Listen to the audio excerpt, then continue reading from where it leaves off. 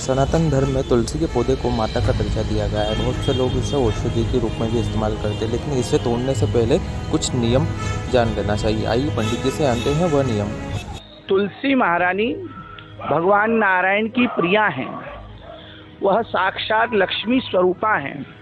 इसलिए तुलसी महारानी को भगवान के निमित्त से ही तोड़ना चाहिए या लेना चाहिए। जब भी हम तुलसा जी लेने जावें तो उनसे आज्ञा लेनी चाहिए कि, हे मैया, मैं भगवान के लिए आपको ले जा रहा हूँ नैवेद्य लगाने के लिए या भगवान की पूजा में तो आप मुझे आज्ञा प्रदान करें वह सहर्ष स्वीकार करेंगे।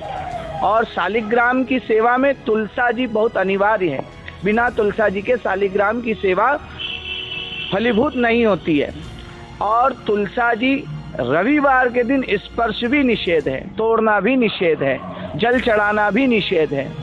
ऐसे में यदि हमें तुलसा जी की आवश्यकता है तो पूर्व में टूटी हुई तुलसा जी, उनकी पत्ती, उनका बीज, उनकी डंडी, इन सबसे यह कार्य संभव हो सकता है। हम भोग लगा सकते हैं भगवान की पूजा कर सकते हैं भगवान को प्रसन्न कर सकते। हैं तुलसा जी भगवान श्री हरि के समान ही है, इसलिए उनका सम्मान करना चाहिए, उनको बिना अनुमति से तोड़ना नहीं चाहिए, उनकी सेवा करना चाहिए। तुलसा जी के समीप में घी का दीपक लगाने से लक्ष्मी नारायण की संयुक्त कृपा हमारे जीवन में प्राप्त होती है।